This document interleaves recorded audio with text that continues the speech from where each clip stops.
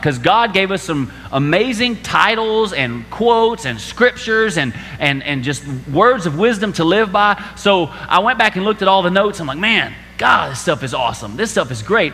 And then God started writing a song using all of these sermons. So I, have never written a song like that before, but it, it began to kind of flow, and God began to tug at my heartstrings about writing a song about all the highlights of this series all the scriptures that you used, put them in song format. A lot of the songs that we sing, they're just scriptures. You know, have you ever have you ever been reading the Bible and read a scripture and you're like, that's a song? Well, it wasn't a song and then they turned it into a scripture. it's a scripture first and then turned it into a song. So, week 1. Week 1 was your breakdown is God's breakthrough. Even the mighty Jacob is at the end of his rope and he just can't take it anymore. He is at his breaking point. But that is when God breaks through. So keep the faith. If you're at your breaking point, just know that your breakdown is God's breakthrough. Week two, we had the revelation of the restart. And I encourage everybody that this is a restart period. This is a time where we get to like do the etch a sketch. You don't like your drawing? Etch a sketch it, erase it, and it's a clean slate with Christ, you have a clean slate. It says that when you come to Christ, you're a brand new creation. All the old is past and gone, and behold, all things are made new in Christ. And you don't pour new wine into old wineskin because then you ruin the whole thing. So don't bring your old junk with you into this new season of life.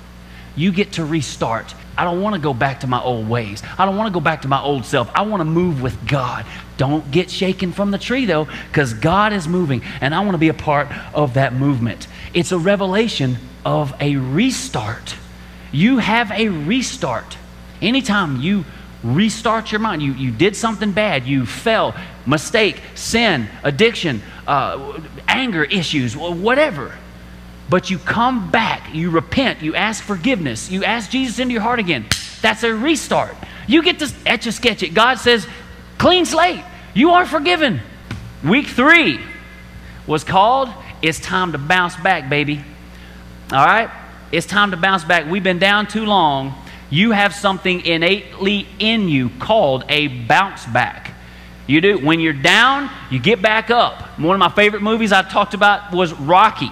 I loved the, the whole Rocky series. He's down, but he doesn't stay down ever. He wasn't the strongest guy, he wasn't the best guy, but his heart was a heart of, I will never quit. I've got bounce back in me more than anybody else. And you've got that in you. Paul said of Jesus, the power that raised him from the dead is inside of you. That power is in you. You have bounce back in you where nothing can keep you down.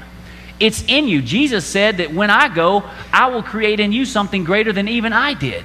That's inside you. God did not create you to be overcome, He created you to be an overcomer. Check this out Isaiah 43, verse 1 through 7.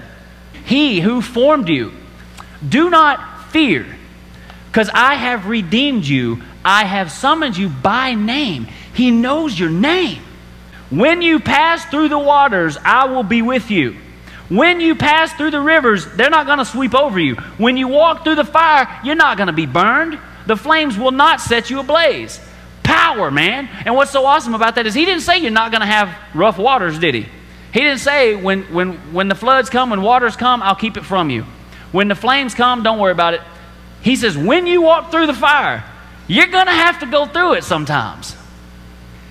Because you come out on the other side of it with more faith, deeply rooted. You're deeper, you're stronger. Just know this today the enemy's best will never be enough. It'll never be enough to defeat you because Jesus Christ is in your heart, and the power of Jesus in your heart can overcome anything. You are not built to be overcome, you're built to be an overcomer. But man, the enemy loves it when we fight the wrong battles because now we're not focused on the ones that matter. We're focused on these that don't matter. And He loves it because we're not giving the attention to the ones that do matter, that could actually help you, heal you, expand the kingdom. Week four was called Pentecostal Fire. John the Baptist was baptizing in the River Jordan, and he's ta- he says, he says, man, um, I baptized, they, they all praised him. They were like, man, you're the man. You're awesome. You're awesome. And he's like, I'm not awesome. There's one coming. I mean, I baptize you with water, but there's one coming.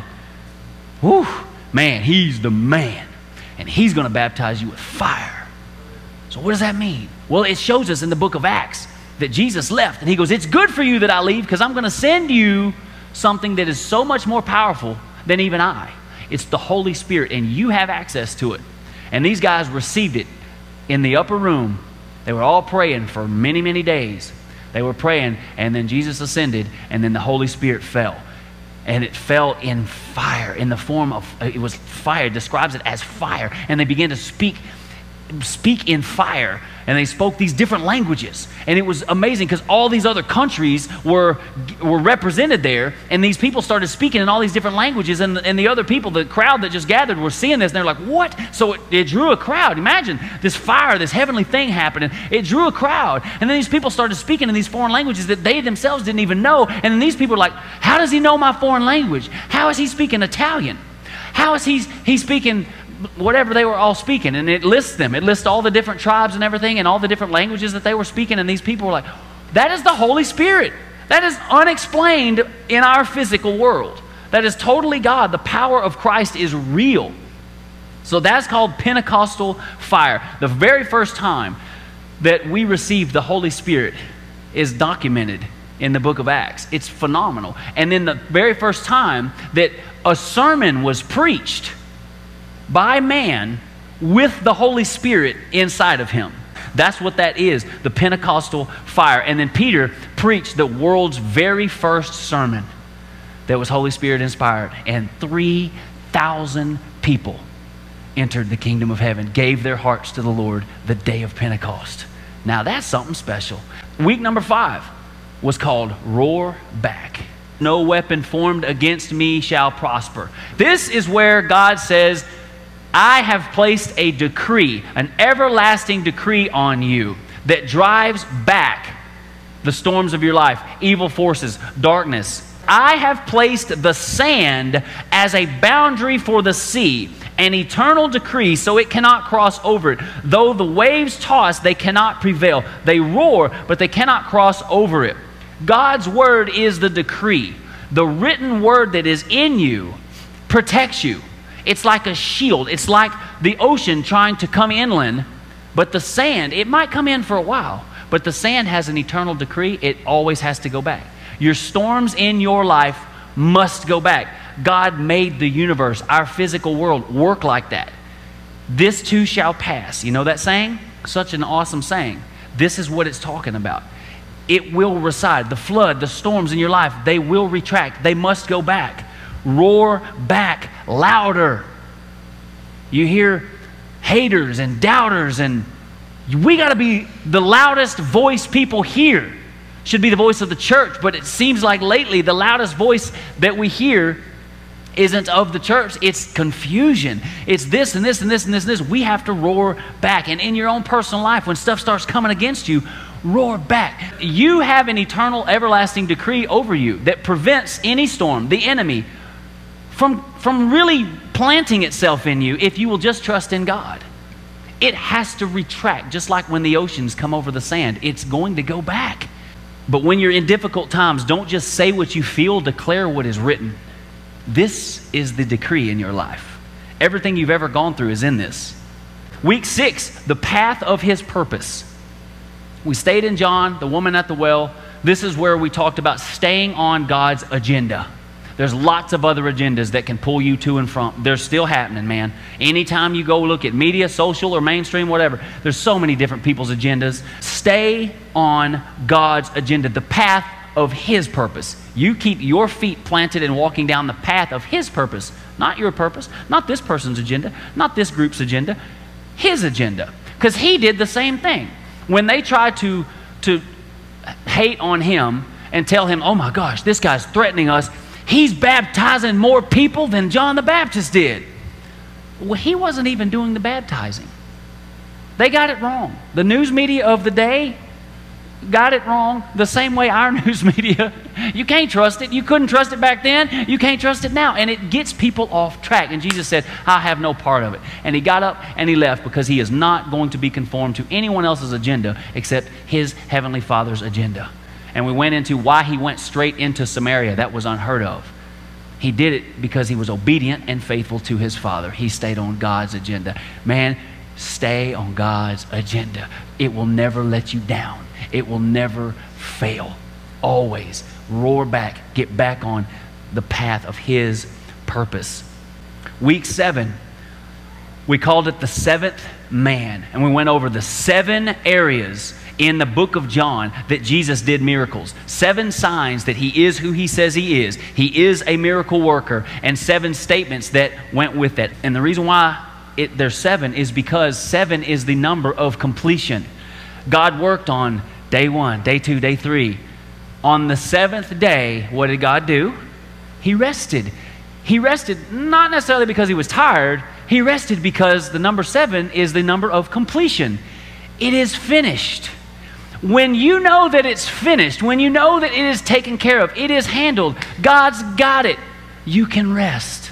The reason, though, why we're tired and we're pulled in this direction, that direction, and, and we're so tired, we're exhausted. I've just been exhausted because I'm pulled in all these different directions, is because we are not living in the place of seven, in the place of completion, relaxing and just laying back against our Father and breathing. Six is the number of man. And we're not living in the number of seven, the number of completion. We're exhausted and tired, worked up, anxious, keep struggling in cycles in our life because we live in six. We live in the area of six. The woman came to, to Jesus at the well, and he started doing the prophecy thing that Jesus does, and she kind of got attitude with him. She's like, You don't know me. I'm not married.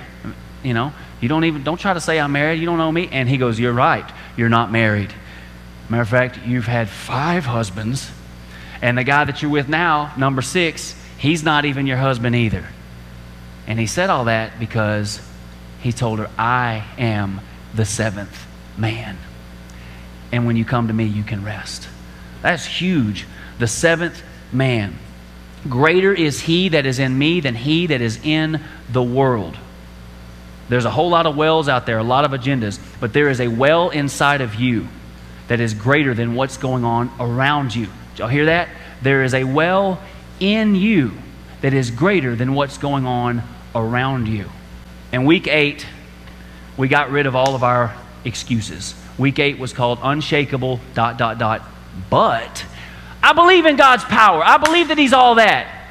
But, you know, I, I still argue with my wife. I believe that God can do anything and He can do miracles, but I don't think I'm ever going to get hired at that job. I believe that God is all this and all that, but I don't know if, if, I, can, if I can really do, if I can kick that addiction. We have all these buts unshakable, we believe. The disciples did not question Jesus, but they didn't fully understand what he was doing. So last week we got rid of all of our butts. We I gave you guys a challenge. We all stood up. Whatever excuse you have, let's give them to the Lord and let it go. Let's follow him. Stand on our own two feet, planted in the Lord. That I am a child of God with no excuses.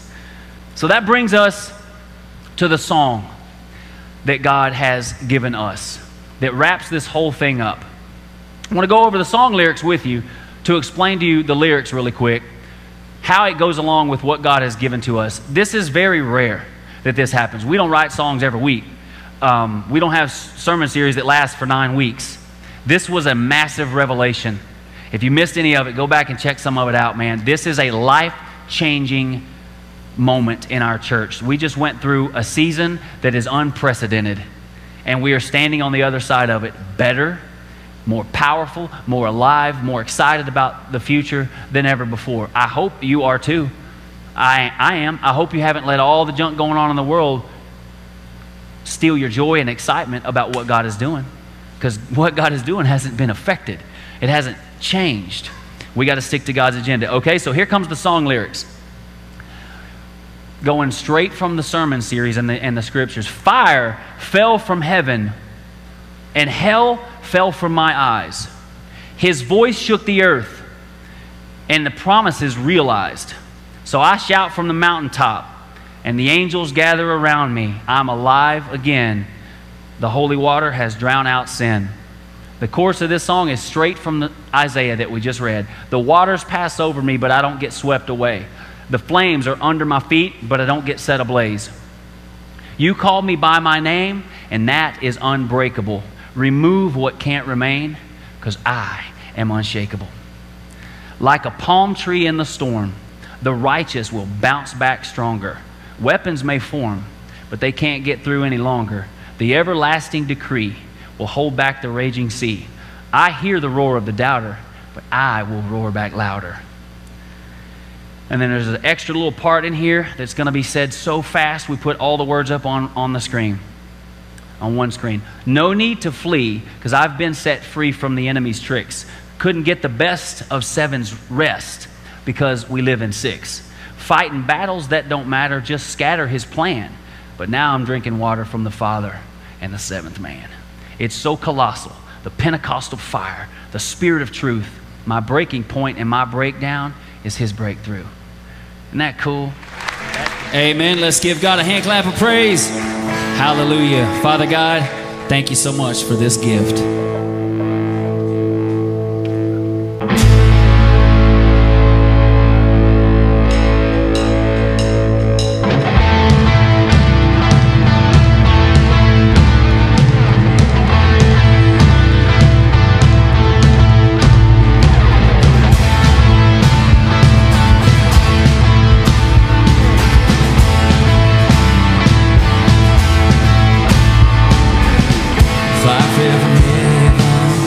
Hell fell from my eyes. His voice shook the earth and the promises realized. The shadow from the mountaintop, the angels gather around me. I am alive again. Holy water has drowned out sin. The waters pass over me, but I don't get swept away. The flames are under my feet, but I don't get set ablaze. Is unbreakable. Remove what can't remain, cause I am unshakable.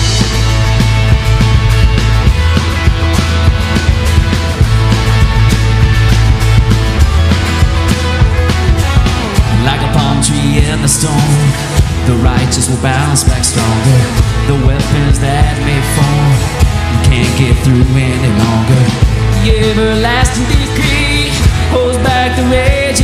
I hear the roar of the doubter, but I will roar back louder. The waters pass over me, but I don't get swept away. The flames are under my feet, but I don't get set ablaze. You call me by my name, and that is unbreakable. Remove what can't remain, cause I am unshakable.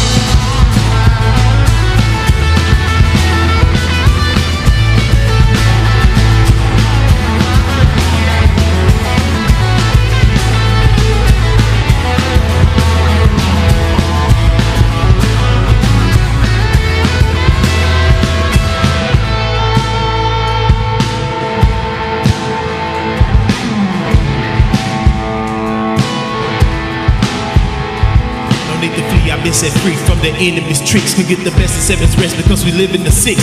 Fighting battles that don't matter, just scatter his plan. I'm drinking water from the Father and the seventh man. Talk the lots of Pentecostal fire, spirit of truth. My breaking down and my breakpoint is this great breakthrough. Yeah!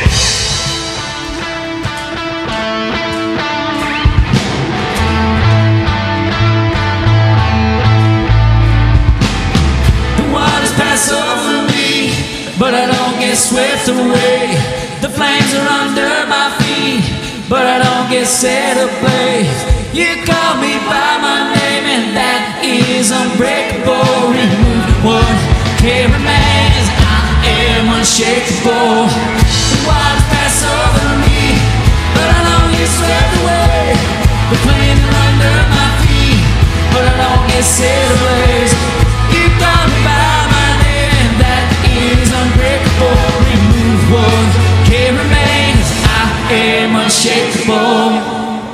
Praise God, amen.